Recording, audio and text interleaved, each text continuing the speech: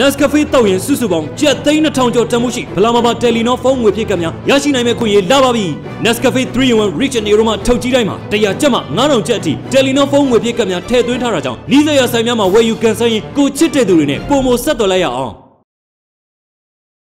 မြန်မာနိုင်ငံပကြီးပပုစီယုံညီလာခံကိုဒီဇင်ဘာ15ရက်နေ့ကစန်ဒရယ်ဟိုတယ်မှာပြုလုပ်ခဲ့ပါတယ်။ဒီညီလာခံမှာ2014မတ်23ရက်နေ့ကတင်ပြထားတဲ့ဖွဲ့စည်းပုံတွေကိုပြန်လည်သုံးသပ်ပြုပြင်တာတွေ မှုဆောင်သစ်ပြန်လည်ရွေးချယ်တာတွေပြုလုပ်ခဲ့ပြီးဖွဲ့ဝင်ပေါင်း100ကျော်တက်ရောက်ခဲ့ပါတယ်။မြန်မာနိုင်ငံပကြီးပပုစီယုံဟာ၄နှစ်တခါညီလာခံကျင်းပပြီးမှုဆောင်သစ်ပြန်လည်ရွေးချယ်တာဖြစ်သလို88ရေခင်ပြီးကလေးကဖွဲ့စည်းထားတဲ့စီယုံတစ်ခုဖြစ်ပါတယ်။မြန်မာနိုင်ငံပကြီးပပုစီယုံဟာနွေရာသီကျောင်းပိတ်ရက်တွေမှာပကြီးတင်တန်းနဲ့ပြိုင်ပွဲတွေပြုလုပ်ပေးသလိုကလေးတွေရဲ့ပကြီးကားတွေကိုပြပွဲဝင်နိုင်အောင်စီစဉ်ပေးတာမျိုးတွေလည်းရှိပါတယ်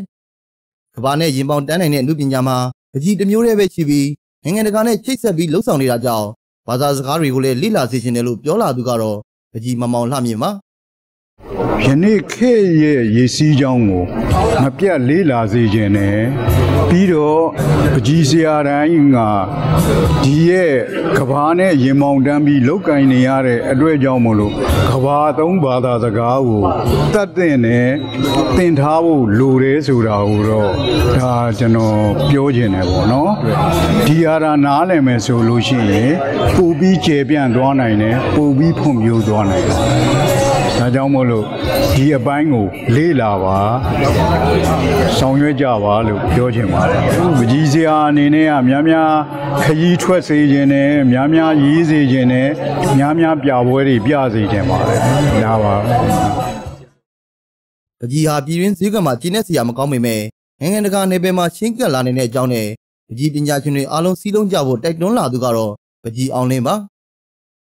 နိုင်ငံတစ်ခုရဲ့ဒီရင်းနှီးမှုစင်တန်းကိုတိုင်းတာတဲ့အခါမှာလူပညာနဲ့ပဲဟိုကျွန်တော်တို့တိုင်းတာရပါတယ်။လူပညာကိုရင်မြင့်ရင်မြင့်တယ်လို့နိုင်ငံရဲ့ယဉ်ကျေးမှုဂုဏ်သိက္ခာလည်းမြင့်မားပါတယ်။ကျွန်တော်တို့ရှေ့ရခင်ကလေးကတည်ရှိခဲ့တဲ့မြန်မာဒီဗကြီးဘူးအမှုဒုက္ခမပညာကိုလက်ဆင့်ကမ်းပြီးတော့ဒီဘက်မျက်မှောက်ခင်မှာလည်းပဲခင်းတဲ့အရင်အရွေ့တစ်ခုကိုကျွန်တော်တို့ခြေလမ်းကတပြင်းကြီးချင်းကပ်နိုင်တယ်။အဲဒါကြောင့်မလို့ကျွန်တော်တို့နိုင်ငံရဲ့လူပညာဂုဏ်ကြီးဟာမနှိမ့်ပါဘူး။နောက်ကျွန်တော်တို့နိုင်ငံရဲ့ဒီနိုင်ငံကျော်ပြည်ဆရာတွေကလည်းပဲကမ္ဘာဈေးကွက်မှာအများကြီးထိုးပေါက်နိုင်တဲ့အခြေအနေတချို့ကိုကျွန်တော်တို့ရောက်နေပြီဖြစ်တဲ့အတွက်လူပညာလည်းပဲကျွန်တော်တို့မနှိမ့်ပါဘူး။စီယုံညီညွှတ်မှုအားကိုပုံပုံမြင့်တင်ပြီးတော့ဈေးကွက်အားကိုပုံပုံထိုးပေါက်နိုင်မှုအတွက်ဒုတိယခြေလမ်းတစ်ရက်ပဲကြံ့ပါတယ်။အဲဒါကိုပုံပုံအားကောင်းအောင်ကျွန်တော်တို့လုပ်နိုင်မယ်ဆိုလို့ရှိရင်တော့အခုလာမဲ့ဒါ2018ပေါ့နော်။ရာပြည့်အနှစ်ကိုကျွန်တော်တို့ဂုဏ်ဒီရှိရှိနဲ့ဖြတ်သန်းနိုင်လိမ့်မယ်လို့ယုံကြည်ပါတယ်ဗျ။ဟုတ်ကျေးဇူးတင်ပါတယ်။